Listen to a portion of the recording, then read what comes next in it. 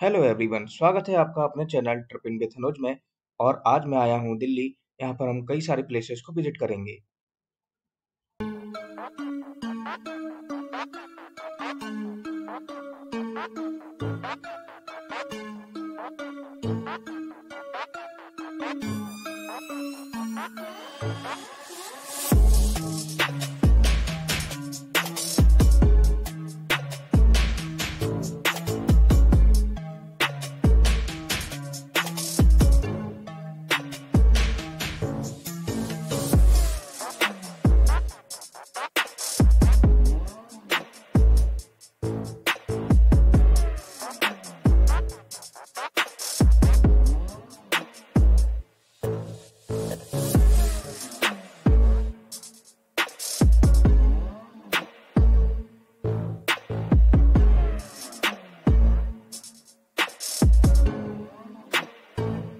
Hello everyone तो ये है लोटस टेंपल जैसा कि आप देख रहे हैं। आप जानते हैं कि कमल मंदिर के नाम से भी जाना जाता है और कमल की प्रकृति का बना हुआ है। तो यहाँ पर कहा जाता है कि यहाँ पर सारे धर्मों को एक ही मान के यहाँ पर लोग प्रार्थना करते हैं। यहाँ की यही विशेषता है। तो चलिए कमल मंदिर को हम देखने के लिए चलते हैं। काफ़ी सुंदर यहाँ पर दृश्य आपको नज़र आते हैं। काफ़ी यहाँ पर आठ से दस हज़ार पर्यटक डेली घूमने भी आते हैं। दिल्ली के नेहरू प्लेस में स्थित लोटस टेंपल एक बहाई उपासना मंदिर है, जहाँ न कोई मूर्ति है और न ही किसी प्रकार की पूजा पाठ करनी जाती है। लोग यहाँ पर आते हैं शांति और सुकून का अनुभव करने के लिए। इसका निर्माण उन्नीस सौ छियासी में किया गया था।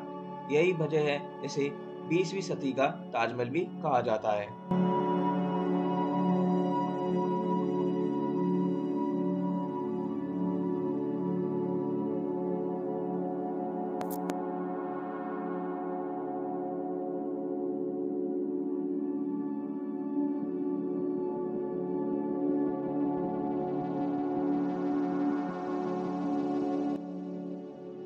Now we are at ISKCON temple तो चलिए चलते हैं इस्कॉन टेंपल को देखने के लिए। इस्कॉन मंदिर भगवान कृष्ण को समर्पित एक प्रसिद्ध मंदिर है, जिसे हरे राम, हरे कृष्ण मंदिर के रूप में भी जाना जाता है।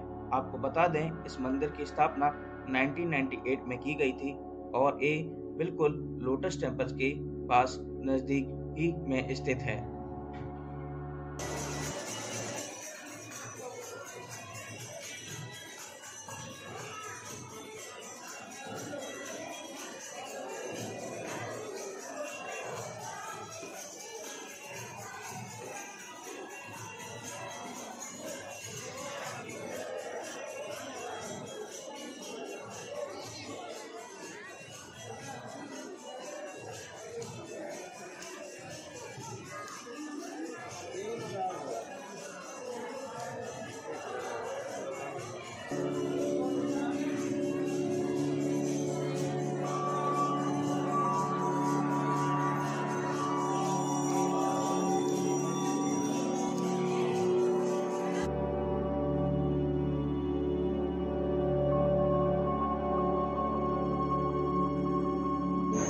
हेलो एवरीवन और आज मैं आया हूँ गुरुद्वारा बांग्ला साहिब, जो कि दिल्ली में लोकेटेड है और काफ़ी बड़ा ये गुरुद्वारा है।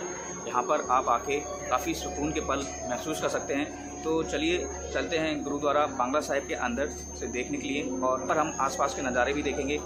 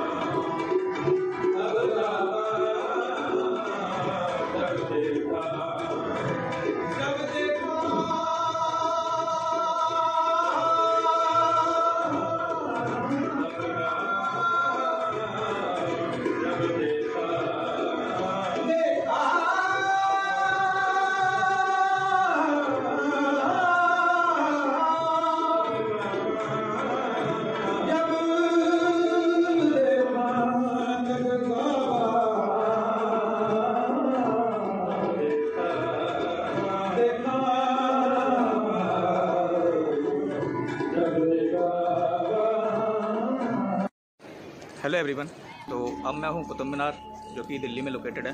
आप सभी लोग जैसे जानते हैं कि कुतुब मीनार कुतुबुद्दीन ऐबक ने 1153 में बनाया था। तो चलिए, इसको निहारने के लिए चलते हैं।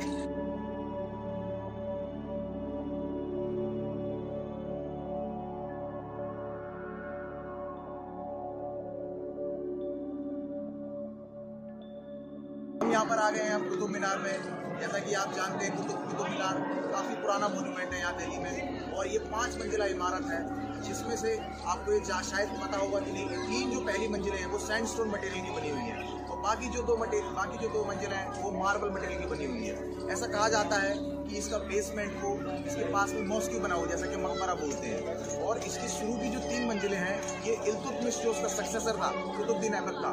उसने इसको बनाया, और रेस्ट जो आपकी पांचवी मंजिल थी, आखिरी वो कुतुबुद्दीन ऐबक बना पाया। और इसके नियर बाई में अगर आप देखोगे, कुतुब मीनार के, यहाँ पर आयरन पिलर भी बना हुआ है, जिसमें ऐसी मान्यता है कि अगर आप उसको बैक से लेकर, अगर उसको आप एनसर्कल करते हो, अगर आप बैक से लेकर एनसर्कल करते हो तो आपकी जो विश है फुलफिल हो सकती है। आयरन पिलर काफ़ी पुराना मॉन्यूमेंट है, जो कि कुतुब मीनार के ठीक पास है।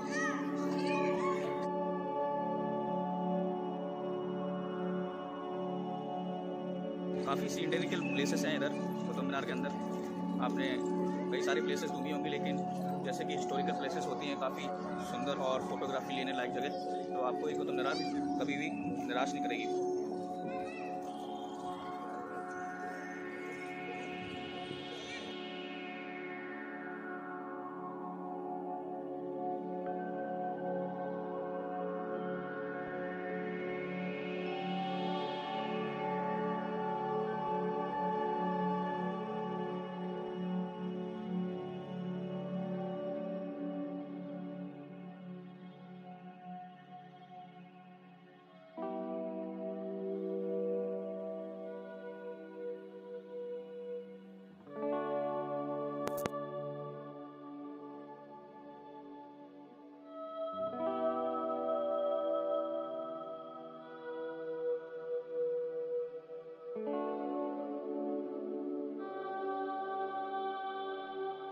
स्वागत है आपका उग्रसेन की बावली में। तो चलिए चलते अब मेरे दोस्त इसके बारे में बताएँगे कि इसकी क्या कहानी है। हाँ बड़े भाई, आइए इधर आइए इधर फ्रेम में, बताइए। जैसा कि आप देख सकते हो उसका अंडरग्राउंड स्ट्रक्चर ये बावली एक्चुअली फ़ेमस है। आपके पहले के समय में क्या होता था मानसून अगर नहीं आ रहा है, और मौसम के परिवर्तन के कारण पानी की कमी हो जाती है। तो उसको ध्यान में रखते हुए इसको अंडरग्राउंड जल संग्रहण ये बनाया गया है। और इसे, इसका स्ट्रक्चर आप अगर ध्यान से देखोगे तो इसमें दोनों आसपास दो मोटी दीवारें हैं और इसका, इसकी जो सीढ़ियाँ गई हैं, ये कतार में कतार में सीढ़ियाँ जो गई हैं, ये इसका सबसे ज़्यादा अट्रैक्शन पॉइंट है। और अगर आप इसमें देखोगे तो इसमें एक के बाद एक इमारत बनी हुई है और भूमिगत यहाँ पर आप पानी भी देख सकते हो ठीक अंदर इसमें कुछ ना कुछ मछलियाँ वगैरह भी हैं। और इसमें अगर आप देखोगे तो इसकी दोनों की चौड़ाई की अगर मैं बात करूँ नॉर्थ से साउथ के बीच का डिस्टेंस सिक्सटी मीटर है। और अगर आप इसके वेस्ट में जाओगे तो वेस्ट में इसमें यहाँ पर क्या है कि इसके चार प्रवेश द्वार हैं, जो कि एक मस्जिद है। देखा जाए तो ये मोनूमेंट सबसे ज़्यादा फ़ेमस है दिल्ली के नियरेस्ट में, और आप चाहें तो यहाँ पर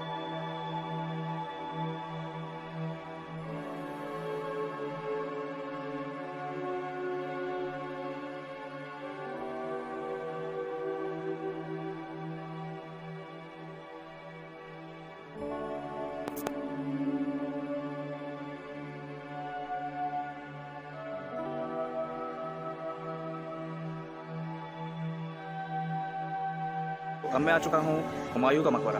और हुमायूं के मकबरे के बारे में ऐसा कहा जाता है कि इसकी जो ऊंचाई है लगभग 120 मीटर है, जो कि चबूतरे से पूरा लगभग है।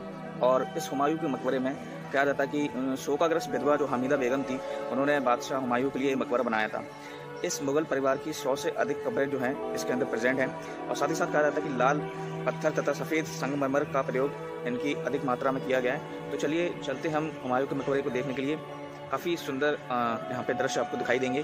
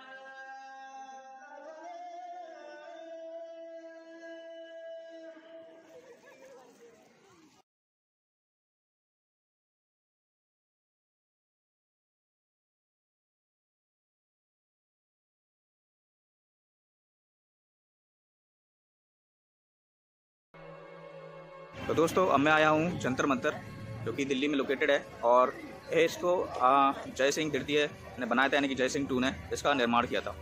तो चलिए, चलते हैं जंतर मंतर को देखने के लिए। ये काफ़ी खूबसूरत तरीके से डिज़ाइन किया गया है। और कुछ अलग ही टाइप का इसका स्ट्रक्चर है। तो चलिए, चलते हैं। इस जंतर मंतर में तीन प्रकार के यंत्र मौजूद हैं। सम्राट यंत्र, मिश्र यंत्र और राम यंत्र। ये सूर्य की सहायता से पक्त और ग्रहों की स्थिति की जानकारी भी देते हैं। साथ ही साथ छोटे और सबसे बड़े दिन की भी जानकारी ये प्रदान करते हैं। तो यही मेन कारण था, जंतर मंत्र का निर्माण समय और अंतरिक्ष के अध्ययन के लिए ही करवाया गया था। और यह दुनिया की सबसे बड़ी पत्थर की सूर्य घड़ी भी कहलाती है।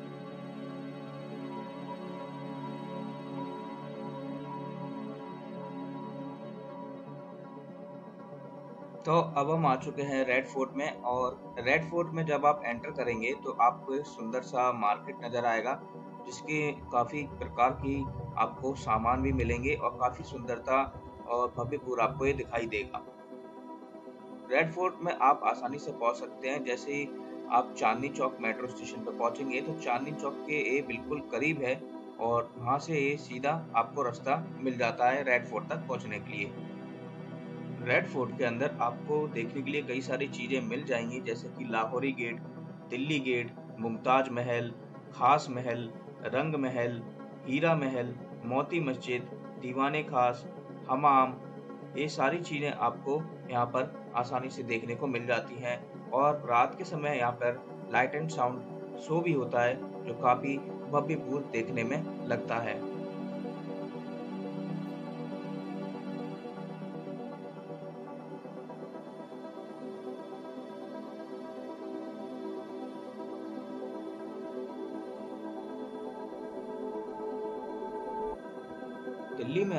घूम घूम के थक जाएँगे, लेकिन आपकी प्लेसेस ख़त्म नहीं होंगी। आप यहाँ के प्लेसेस के साथ साथ यहाँ के मार्केट से आप शॉपिंग भी कर सकते हैं और यहाँ का फ़ूड को भी इंजॉय कर सकते हैं। यदि आप चैनल पर नए हैं तो चैनल को लाइक शेयर और सब्सक्राइब करना ना भूलें और साथ ही साथ बेल आइकन को प्रेस ज़रूर करें, जिससे आपको लेटेस्ट नोटिफिकेशन जल्द से जल्द मिल जाए। तो मिलते हैं अगली वीडियो में।